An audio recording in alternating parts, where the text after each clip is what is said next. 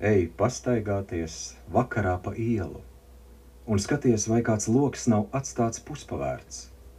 Tu drīksti atgrūst logu vaļā, rausties iekšā un iemītniekiem saukt: Labvakar, es te dzīvošu!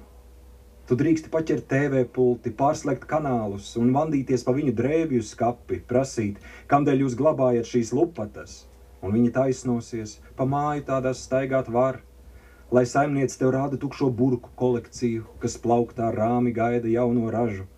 Ej viņu guļam istabā un pārbaudi, vai spilvens naktsmieram būs gana mīksts.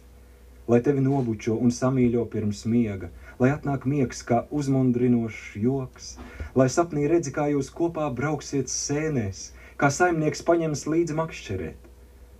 Un zaru ēnās skatoties uz sienas, tu laimīgs smaidīs par jauno svešo dzīvi, kas galda spēlē līdzinās, kur pērk un krāj, kā paredz vienkāršie un stingrie noteikumi. Te kādu dienu, ēdot aličas no burkas, tu pēkšņi sajutīsi, šī ir tava dzīve.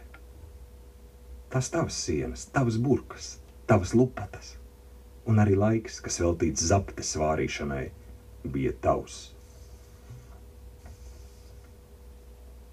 Un kļūst tik ļoti bail, tāds niknums pārņems, ka burkas jānogrūž no palodzes, pa logu jālec, un steigšus projām jāsauļo pa krēslojošo ielu, un jāskatās, kur loks būs atstāts puspavērts.